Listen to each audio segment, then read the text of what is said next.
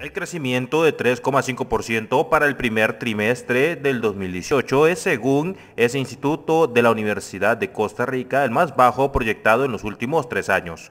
Por ejemplo, en los primeros tres meses del 2017, ese crecimiento se estimó en 4,18%. Lo que estamos viendo es un menor crecimiento económico, un ritmo menor eh, al 4%, cosa que no se veía desde el 2015. Entonces ahí llama la atención eh, cómo la economía ha, percibido la evolución de las tasas de interés, la evolución de la inflación y tenemos un crecimiento menor eh, muy, muy enfocado en el tema de consumo privado, o sea, el consumo privado ha, disminuido bastante su ritmo de crecimiento, antes andaba en el orden del 4, 4,5 y ahora está por, por, debajo del, del, del 4, 3, 3,5%.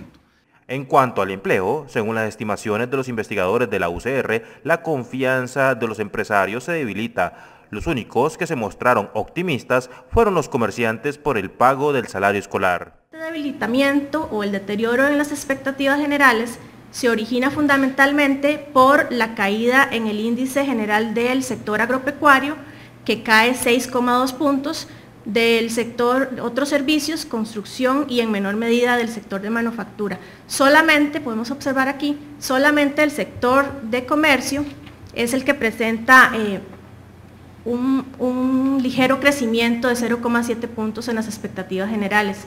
En lo concerniente a la inflación, se espera que en estos primeros tres meses del año se ubique entre 2,5 y 3,5 puntos porcentuales. Recordemos que para el 2018 el Banco Mundial pronosticó que la economía costarricense crecería 3,8%.